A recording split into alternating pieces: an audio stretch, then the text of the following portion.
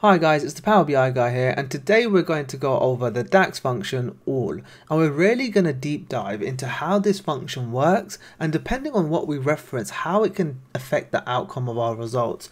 For example, right now we have the total sales all measure. If I bring in subcategory, we might have noticed that the results change. Why is that? We're going to cover that in that in this video and really try to understand the DAX behind um, all and how it works and what how it affects the outcome. So without further ado, let's start this video.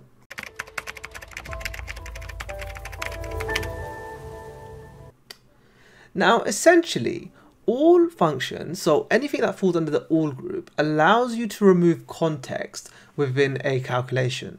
Now let's actually understand what I mean by this.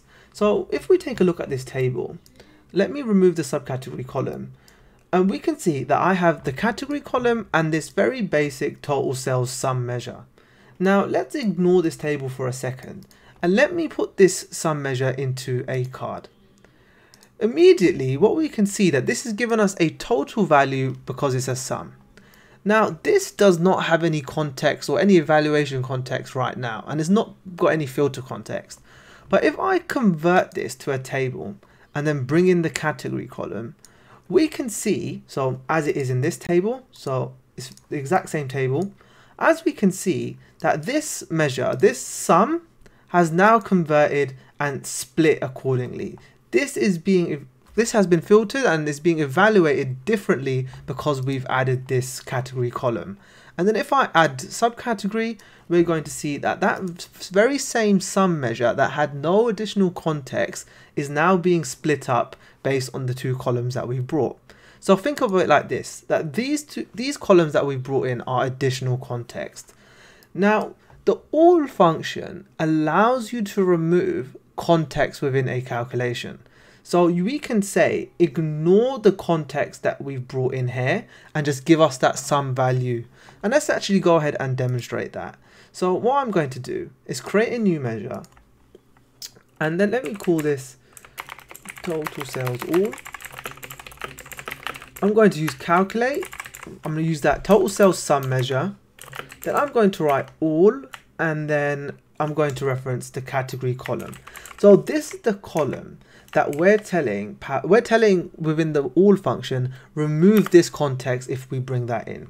Now let me bring that into the table, that function that we just wrote. And what we're going to see here is that the total sales sum, so that sum here that initially was just a total figure. And then if we brought in the column, it was splitting our data. Using the all function within this calculation, we've told Power BI calculate the total sales, and then remove filters because all is essentially re remove filters. Remove any filters that the product category column may bring in. So as we can see, we've brought the product category column in, therefore it's going to ignore the filters. Now, if I bring in that into a card, if I bring that, that all function into a card, we're going to see it gives us that total. And if I now bring in, instead of bringing the category column, using the all function that we did before and bringing subcategories, we're going to notice something. This isn't working how we how how you might think it would. Why, why, why is it that the total sales all now is not splitting this data or is not doing this, uh, the same action here?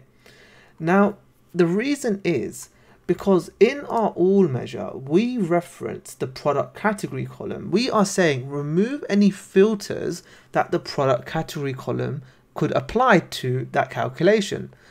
But in this visual here, we have not got the category column, we've got the subcategory column. So therefore, it is splitting our data accordingly. Now, what happens if I change this to subcategory? Product subcategory.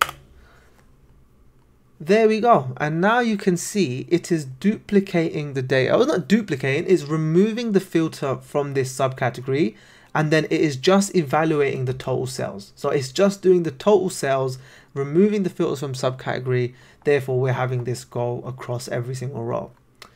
Now, this is very important what I'm going to cover now. This is very important to understand. Let me delete this. And in this total sales all measure, so let's bring back in the subcategory column. We can see because we've uh, told it to remove subcategory, it's, it's ignoring the filters. What happens within this measure if I bring in another column within this table when we've only referenced subcategory? So let me bring that in. And immediately you're going to know notice that this is behaving slightly different. It is ignoring some filters because we have the duplicate of the sales sum measure, but it's happening multiple times. Now let's think about this logically due to what we did. This measure currently is referencing ignore the subcategory filter. So what we've brought in here, the subcategory column, it is ignoring that split. So it's removing that filter, but we haven't told it to remove the category filter. So if we demonstrate this and I remove subcategory, we can see that 741 represents furniture, 719 represents office supplies, and 836 technology. But if I bring in the subcategory column where we've said ignore this, so don't apply this context, we can see that the total sales sum measure is ignoring that and but the reason why it's duplicating this, well, why the sum might be duplicated, it looks like it's duplicated, is because if we even remove that measure, when you do a, when you add another additional column, the subcategory is one category can have multiple subcategories. So naturally, this the, the the dynamic of how Power BI works is that it's going to do split this data, and then if I bring in that measure once again, total sales sum all we can see that for furniture it's going to ignore the context here and then just repeat that value. So that is how all essentially works, is that it removes the context that you specify. But you don't have to just specify individual columns. We can reference the table. So we could literally just say, ignore any filter that comes from the product category, the product from the product table. So now you can see that it's duplicating that, um, not duplicating that value, but it's ignoring any context that we've brought in. So if I even, so you might be wondering, when do we use all? And let's actually run through an example of a situation where you might use all. So let's take a look at the table. I've brought in a percentage breakdown column. Now let's look at the measure. This isn't how you would write it best practice, but this is just so you can understand. So we have the total sales sum. So we have the total sales sum and then what we're doing is we're dividing that by the total sales all.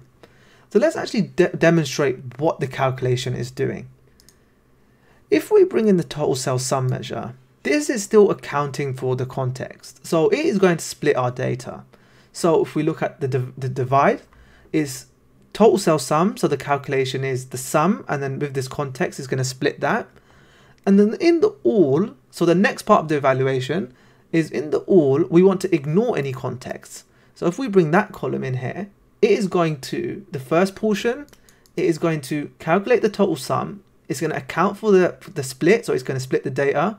Then it's going to divide that by the total sales with the all, where it's ignoring all of the context.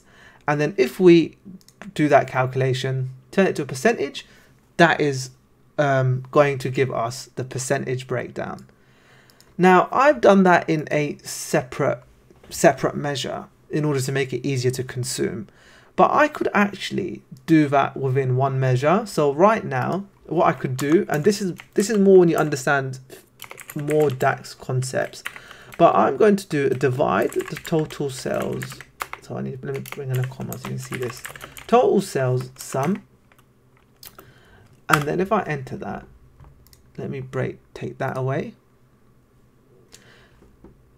So this is the measure that we just rolled. So what we've done is we've said divide the total sales sum with no context by the total sales all product whether so the calculate function is saying calculate the total sales but ignore the context of the product table. And if I bring that in here which it is it is going to be a percentage breakdown of that column. And because we've referenced, because we've referenced the whole table, if I bring that in any column, it's going to split our data